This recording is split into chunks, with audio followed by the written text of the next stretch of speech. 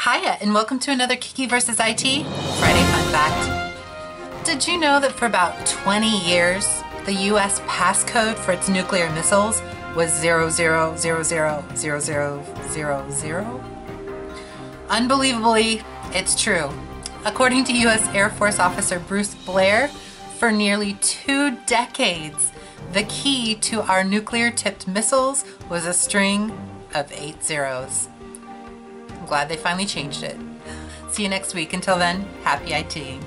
Please like, subscribe, and comment if you enjoyed this. If you want a sneak peek of what's coming up next, you can follow me on these social networking sites.